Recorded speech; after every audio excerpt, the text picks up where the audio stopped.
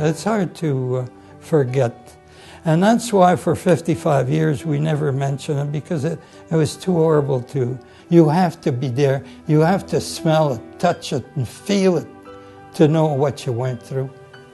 And I hope that this younger generation never go through it. Well, I think what you're doing is admirable.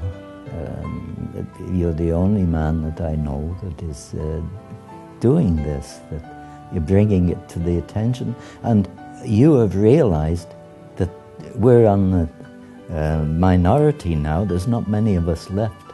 You're just in time, and you've realized it, that it's necessary to let them know, well, look, this is what happened.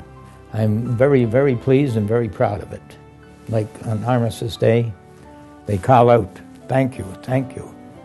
We're crying, I'm telling you, we're crying.